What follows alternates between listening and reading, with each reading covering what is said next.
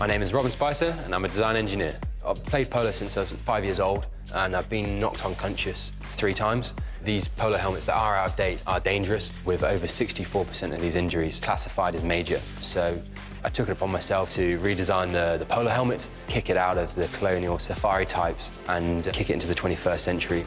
This is the helmet that I've designed. Inside, we've got that expanded polystyrene. This is equivalent to a crumple zone on your car. This is the, the MIP system that moves around, mimicking your brain fluid. As the helmet comes down, the slip plane engages, and that dissipates that rotational energy and prevents it being transferred into your brain ultimately, you know, the clock is ticking. The timescale for this project was always to make it as quick as possible and react to these out-of-date helmets.